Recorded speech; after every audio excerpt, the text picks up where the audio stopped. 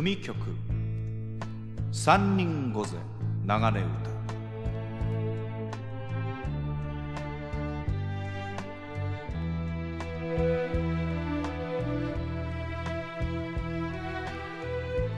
この組曲は寺内武の深い人間性の発露から生まれたとも。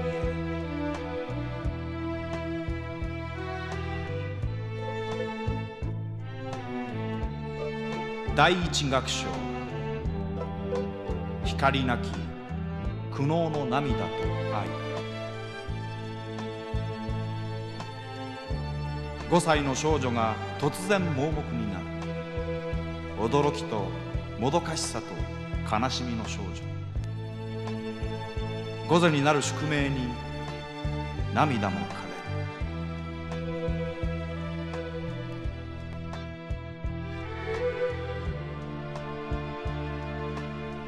第二楽章。流れたる流れ歌。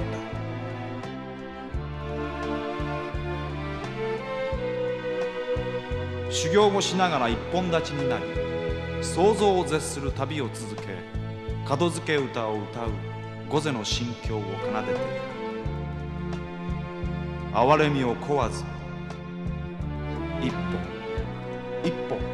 自分の足で土を踏みしめていく足音に日本海の波音が予習を誘う。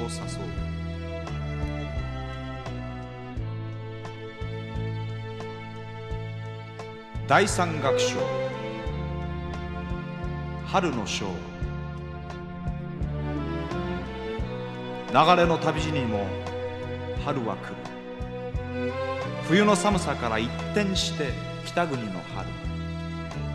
桜が咲く。華やかな景色。だが御瀬の目にはその花が見えない。匂いで春を知り花びらが散り頬にかかる時行く春に別れを告げる。午前に青春はない。第四週章。雲の流れとともに。雲の流れと一緒に旅を続ける午前の姿を描く。バックに流れる三味の音が安来節筑前琵琶ジョンガラ節のルーツへと風の雪の日本海を流れるのに注目したい。